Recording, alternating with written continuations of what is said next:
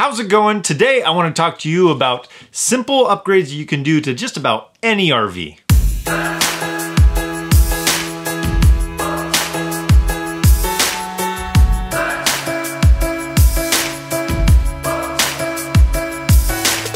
So we've been touring a lot of RVs lately and uh, we've been noticing a common thread through a lot of them of things that we would want to upgrade. And it's the exact same things that we upgraded in our fifth wheel that we thoroughly enjoy.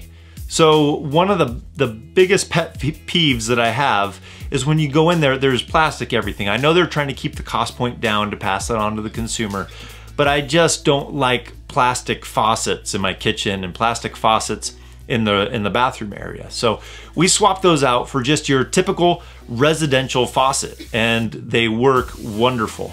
Uh, the only thing that we did to make it work well is we put these little diffusers in the end. It, you just take out the, the factory ones and you put these in. There's gonna be a link in the, the description to these, uh, but you're able to have your faucet regulated on how many gallons per minute so that if you're boondocking, you're not wasting a ton of water. So you wanna make sure you put in the right diffuser for what you wanna do. So we swapped out both our kitchen faucet and our bathroom faucet. Now, one of the other big things that we notice in a majority of the rigs that we've gone through is just the cheap shower head that they put in them. And they're, they're usually just these plastic pieces of junk that look like they're gonna break. So we swapped ours out, and these are popular among many RVers, is the Oxygenics shower head. It's easy, it just threads right on. Uh, you just put it right in the the normal holder right there, and um, it's it works great. You have the one that we got um, is like the power massage. Again, link in the description. Um, but uh, it saves you water compared to a normal shower head. Um, and it gives you more of a variety of what you might want out of your stream for taking a shower. So it definitely makes it more enjoyable than some of these just just flaky, kind of cheap, plasticky shower heads. So that's definitely one of those things you're gonna wanna swap out. Another item that we wanted to add to our rig, and more of them are starting to come with it, but we wanted to add one of those domes to the vent cover because when you're driving down the road, you're able to leave your vent open, or if it's raining, we're able to leave the vent open in the bathroom. Uh, we only have it for one of our vent openings, and I'm planning to put it on the other three eventually, but it's definitely worth having uh, the dome to put over it so that you can have your vent open all the time, rain or shine, doesn't matter. So that's definitely a good one.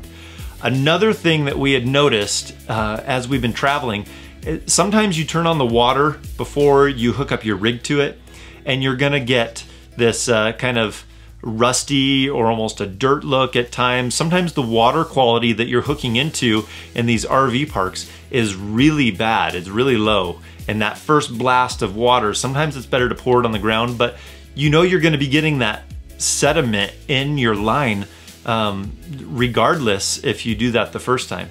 So we like to put on a filter onto our rig. We have one that's installed, so I just have to replace the, the element in this filter housing and uh, but they also make these super simple ones that you're able just to hook directly to where you're connecting to uh, the hose bib.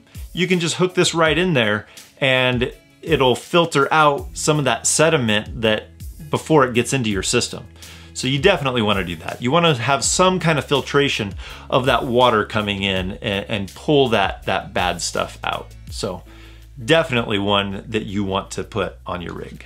Now the last one, the fifth one, isn't uh, the most simple change to make, but uh, there will be a video coming up on how to install one of these, and it's really not that hard. And it's a smart converter. So many of these rigs that you get, the converter for charging your batteries is um, like, like a single stage, uh, but now they make smart converters so that when you're charging your battery, you have multi cycles that it can go go to. So um, if your battery is really low, it can charge it a lot faster and then move to a, a medium range and then also go to a trickle charge to maintain it. So uh, being able to have that to where we can charge our batteries faster and we're not overcharging them so that it's a, a more intelligent uh, charging system.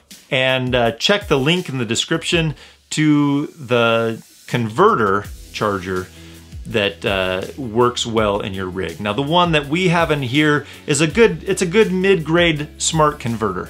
And uh, I'm gonna put a link to the one that might be on my wish list that I'd like to do someday. So uh, those are the top five things that we think any rig can use as upgrades. Well, that'll do it for today. We will hopefully see you on the road.